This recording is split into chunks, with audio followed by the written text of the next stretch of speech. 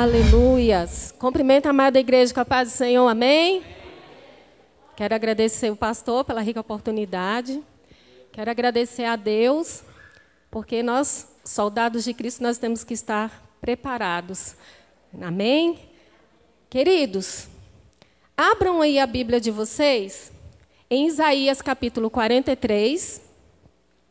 O Senhor está aqui nessa noite e Ele tem uma palavra para o meu e para o teu coração. Amém? Isaías 43. O Senhor já tinha falado comigo nessa palavra há uns dias atrás. E é tão de Deus que Deus falou assim: Filha, você vai ministrar essa palavra à minha igreja. E eu estudei um pouquinho essa palavra e deixei aqui quietinho. Eu falei: Amém, Senhor, que seja a sua vontade. Quando eu tiver a oportunidade, eu vou falar aquilo que tu queres, Senhor. Amém? Isaías 43. Apenas nós vamos ler o, versículo 1, 2 e 13. Amém? Todos encontraram? Que diz assim: Mas agora sim diz o Senhor que te criou, ó Jacó, e que te formou, ó Israel. Não temas, porque eu te remi, chamei-te pelo teu nome, tu és meu. Quando passares pelas águas, eu serei contigo. Quando pelos rios, eles não te submergerão. Quando passares pelo fogo, não te queimarás, e nem a chama arderá em ti. Versículo 13. Ainda que houvesse dia, eu era, e nenhum há que possa livrar alguém das minhas mãos, porque agindo eu quem impedirá. Vira para o teu irmão e diz assim: agindo Deus, quem impedirá?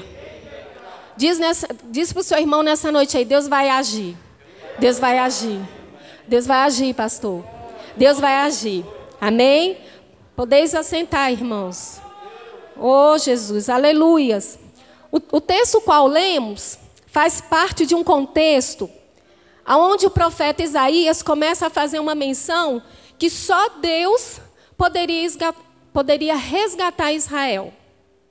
Deus estava usando o profeta para recordar ao seu povo a revelação do seu propósito.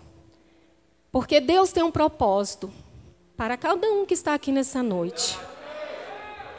Nos capítulos anteriores, a Bíblia vai revelar que, que o povo judeu havia negligenciado a Deus. E com isso eles tiveram graves consequências. E o que é negligenciar Deus? É você desobedecer, é você se afastar da presença de Deus. E o povo, nessa época, eles estavam passando por diversas perseguições. E eles estavam passando por um período muito caótico, pastor. Porque Deus requer da gente obediência, irmãos. E que nessa noite essa palavra tão pequena, ela venha ser absorvida no seu coração. Obediência. E o povo, eles estavam fracos na fé. Porque as lutas, as diversidades eram muito grandes. Mas a palavra revela que a bondade de Deus e a fidelidade de Deus se manifestou naquele momento apropriado, pastor. Ainda que nós negligenciamos a Deus, ainda que nós afastamos de Deus, ainda que nós desobedecemos a Deus, Deus é tão misericordioso que ele vem ainda com a sua bondade. Olha que coisa mais linda. Deus é perfeito. Deus é amor. Mas a palavra é, revela que Deus, ele remove as nossas transgressões, porque a sua fidelidade, ela é imutável. Diga aí para o teu irmão, a fidelidade de Deus é imutável. Olha que interessante, no capítulo 43, quando a gente inicia aqui a palavra, mas agora aqui, agora sim diz o Senhor, Deus declara a sua vontade de restaurar, libertar e curar. Porque ele diz aqui, ele te formou. Não temas porque eu te remi. Eu te escolhi. Deus escolheu você no ventre da madre. E Ele tem um propósito na sua vida. Não é em vão que você está aqui, amados. Não é em vão que você está servindo ao Senhor. E quando a gente vai observando a palavra de Deus, a gente vê que Deus, por mais que ainda sejamos falhos, Ele não deixa de agir em nosso favor. E nessa noite, eu creio que Deus está agindo na vida de cada um. Ainda que você esteja fraco, Ele te diz nessa noite: acalma-te.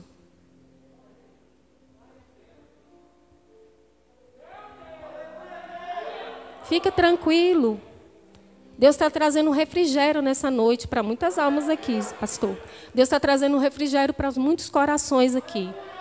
Que chegaram aqui aflitos, chegaram aqui preocupados, às vezes tristes, às vezes fraco, mas Deus está agindo. Porque agindo Deus, quem impedirá?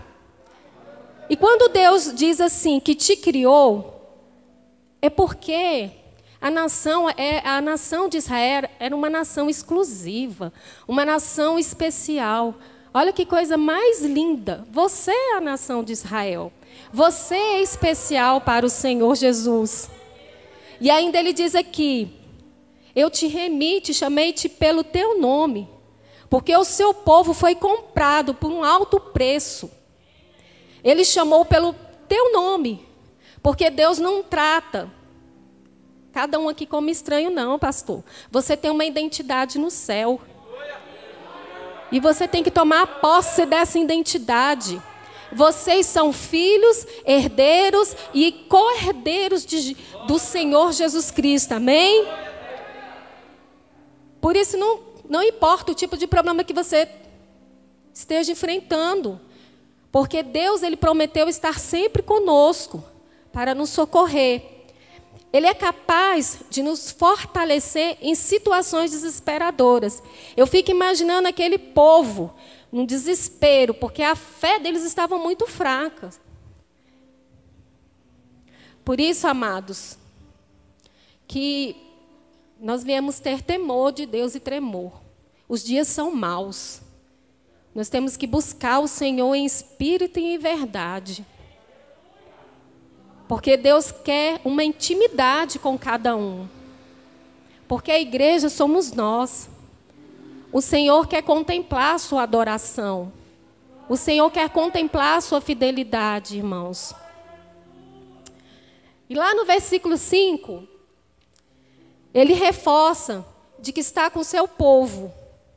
Talvez você entrou aqui fraco, mas vai sair daqui renovado, renovada, vai sair daqui restaurado, restaurada. Porque se você entrou aqui triste, você vai sair daqui hoje alegre. Porque Deus está agindo a seu favor. E eu fico imaginando Deus, quando ele começou a olhar ali a face da terra, e percebeu que o povo de Israel, eles não estavam compreendendo que ele tinha um domínio o poder e o controle de todas as coisas. Deus está no controle, irmãos. Não importa a situação, Deus está no controle, Deus está no comando. Porque aquilo que você pensava que ia dar errado, a partir de hoje vai dar certo. Ele vai agir. Não é a fofoca, não é a calúnia, não é a porta fechada, não é a doença, não é o vício, não é um homem que vai impedir o Deus agir na sua vida. Vira para o teu irmão e diz assim: Deus vai agir. Deus está agindo. Porque ninguém pode desfazer aquilo que Deus faz e fará por nós. Ninguém, irmãos. Ainda que o homem tente impedir, ainda que os nossos inimigos se levantem, mas nada, nada pode impedir o agir de Deus. No versículo 2, ele diz que quando passares pelas águas, estarei contigo. Ele garante que não iremos nos afogar. E o que, que quer dizer essa palavra? Para o meu e para o seu coração. Ainda que as lutas venham insistirem em permanecerem, nós não ficaremos nas lutas, nós passaremos pelas lutas. Deus está garantindo uma promessa para mim e para você. Filho, a diversidade está grande, a luta está grande, mas você vai passar. Eu estou contigo. Você não vai permanecer nessa luta. Você vai passar por ela. E quando você terminar nessa luta, eu te darei a bonança, eu te darei a vitória.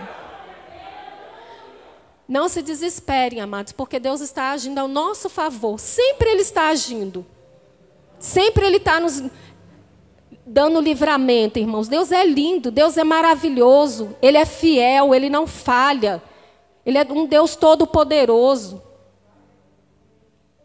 Os seus olhos percorrem sobre toda a terra, irmãos. Porque Ele não abre mão de você. Ele te resgatou. Ele te criou. Ele já te conhecia. E Ele te diz nessa noite: Filho, filha, agindo eu, quem impedirá? Agindo eu, quem impedirá? Não importa, irmãos, o que cada um esteja passando, Deus vai agir ao seu favor. A vitória ela vai chegar no momento certo, porque a palavra de Deus fala que há um tempo determinado para todas as coisas. Há um tempo para a gente passar lutas, mas há um tempo também para a gente termos a nossa vitória para testemunhar aquilo que Deus está fazendo nas nossas vidas. Vira para o teu irmão e diz: Deus vai agir, Deus está agindo ao nosso favor. Aleluias. Ele está aqui, irmãos. Eu quero te dizer nessa noite que o Senhor diz que a sua causa está nas mãos dele. A sua família está nas mãos dele. O seu ministério está nas mãos dele. O teu emprego está nas mãos dele. O teu negócio está nas mãos dele. Porque ele te diz nessa noite: eu vou exaltar, eu vou honrar, e você irá testificar aquilo que Deus irá fazer na sua vida. Porque eu creio, irmãos, por mais que haja tantas adversidades, lutas, eu creio que Deus está estabelecendo um novo tempo. Porque agindo Ele, quem impedirá, irmãos? Olha o que ele diz: curando eu, quem impedirá? Honrando eu, quem impedirá? Libertando eu, quem impedirá? Restaurando eu, quem impedirá? Exaltando eu, quem impedirá? Abrindo a porta, quem impedirá? Não importa, irmãos, as suas falhas. Deus te trouxe aqui nessa noite para te dizer que tu és escolhido, que tu és escolhida do Senhor. Ele não desistiu de você, porque Ele está agindo ao nosso favor. Se Ele falou, eu vou fazer, Ele vai fazer.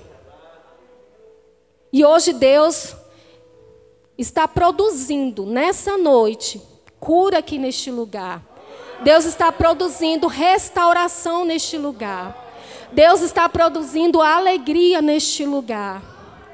Deus está produzindo sonhos neste lugar. Deus está produzindo paz neste lugar. Deus está produzindo, irmãos, aquilo que ele te prometeu, ele está resgatando as promessas que ele, que ele te prometeu, porque ele vai cumprir. Fiquem de pé nessa noite.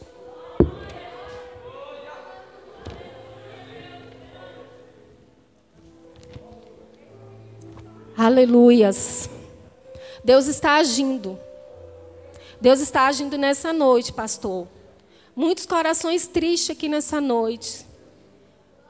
Muitos corações desacreditados. Muitos corações que não acreditam mais nos seus sonhos. Muitos corações com a fé abalada. Mas Deus está agindo nessa noite. Deus está produzindo cura. Ele vai curar muitas pessoas aqui nessa noite. Porque a palavra diz que se tu tiveres fé como grão de mostarda, ele vai honrar. Não importa se os seus sonhos não foram concretizados, mas o Senhor te diz nessa noite: eu estou agindo. Eu não esqueci de ti. Eu vou cumprir todas as promessas a qual eu falei para cada um aqui. Deus tem um propósito. Deus te resgatou. Porque só Ele que resgata o seu povo. E Ele está aqui para resgatar a cada um. Não importa a situação, não importa a preocupação. Ele está aqui para te livrar, para te curar, para restaurar, para concretizar aquilo que Ele te prometeu nessa noite. Fecha seus olhos nessa noite. Vamos orar. Aleluias. Rasga o seu coração na presença do Senhor. Oh, xerabalabalas. Ribalabalas. O Espírito Santo de Deus está aqui. Rasga o seu coração na, na presença do Senhor. Ele te chamou. Tu és filho amado. Tu és filha amada. Ele não se esqueceu de ti. Ainda que a figueira não floresça, mas você vai se alegrar na presença do Senhor. Ainda que os lugares estejam secos, mas Deus vai brotar semente e elas vão crescer e vão se tornar como árvores frutíferas. Oh, aleluias. Você é especial. O Senhor é contigo. O Senhor não esqueceu de ti. Fale com o Senhor nessa noite. Adore o Senhor nessa noite. Você é filho, você é filho especial do Senhor. Ele pagou um preço alto na cruz do Calvário por ti. Tu és filho herdeiro e cordeiro do Senhor. Você tem uma identidade. Você é princesa do Senhor. Você é príncipe do Senhor. O Senhor está aqui neste lugar. Fala com Ele. Oh Senhor Jesus. Nós estamos aqui, Pai, sedentos de Ti, Senhor. Tu és maravilhoso, Pai. Tu és grande. Oh, Jesus, que nessa noite vidas venham ser curadas, Pai. Vidas venham ser libertas, Senhor. Traga alegria para o coração do seu povo, Jesus. Ainda que as coisas estejam difíceis, Pai, nos ajuda, Senhor, nos dias difíceis, Senhor, porque os dias são maus. Mas Tu és aquele que nos promete dar vitória, Senhor. Tu és aquele que promete abrir as portas e ninguém fechar. Tu és aquele que opera os milagres. E ninguém pode agir, ninguém pode impedir o teu agir, Senhor. Ninguém, Senhor.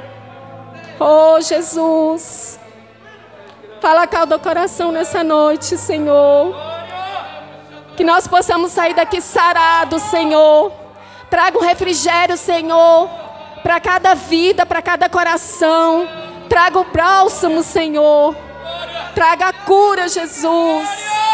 Traga alegria, Jesus. Que a partir de hoje, Deus, tu venha trazer novos tempos para o teu povo, Jesus, porque tu és aquele que não se esqueceu do teu povo, Jesus. Tu és fiel, Jesus. Tu és aquele que nunca falha, meu Deus. Oh, Jesus, aleluias. Nós te louvamos, Pai. Nós te rendemos graças, Senhor. Nós te adoramos, Senhor, pelo que tu és, Senhor. Eu te louvo, Jesus. E te Glória. agradeço, Deus. Aleluias. Dê uma salva de palmas para o Senhor. Aleluia. Aleluias. Eu agradeço minha rica oportunidade, pastor, em nome de Jesus.